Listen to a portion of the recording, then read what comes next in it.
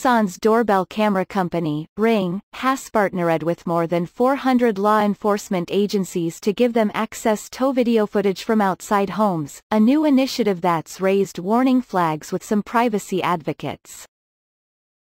Some 405 police agencies have been using Neighbors Portal, an extension of the company's Neighbors app, Ring founder and CEO Jamie Siminoff said in a blog post.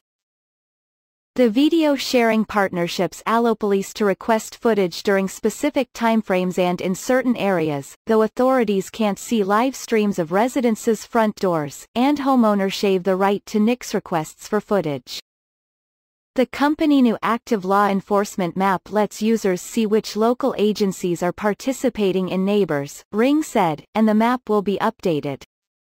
The Neighbors portal lets local police engage with their community, Siminoff said, from posting important information about crime and safety events in their neighborhoods to viewing and commenting on public posts as a verified law enforcement officer, to asking for help on active investigations by submitting requests for video recordings. The Neighbors app has already gotten stolen guns off the streets and recovered a diabetic child's pilfered medical supplies, Siminoff said. Every member of a community plays a vital role in making neighborhoods safer, and we're proud that our users can decide how exactly they want to contribute to those conversations, he said.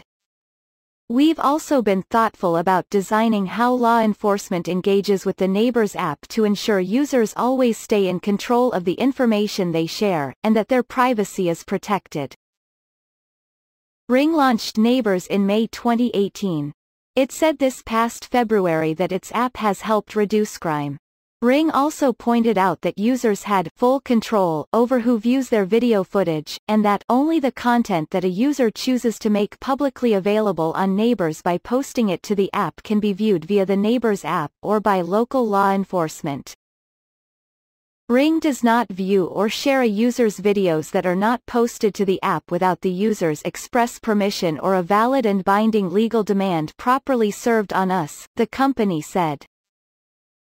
Even so, Ring's announcement on Wednesday caused many critics to sound the alarm over privacy issues. By sending photos and alerts every time the camera detects motion or someone rings the doorbell, the app can create an illusion of a household under siege, Matthew Guariglia of the Electronic Frontier Foundation told USA Today. The nonprofit digital rights group says it defends digital privacy and free speech. It turns what seems like a perfectly safe neighborhood into a source of anxiety and fear, Guariglia said. This raises the question, do you really need Ring, or have Amazon and the police misled you into thinking that you do? Others took to Twitter to express their disapproval of the law enforcement partnership. One more reason to not use Ring, said Space Sim Guy, Big Brother just keeps getting bigger.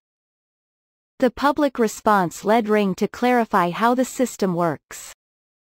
Recent coverage of the Neighbors program is misleading, the company tweeted in response to the criticisms, we want to set the record straight you are in control of your videos. They are only shared if you post them or provide consent. Police go through Ring when making a request, and you can decline.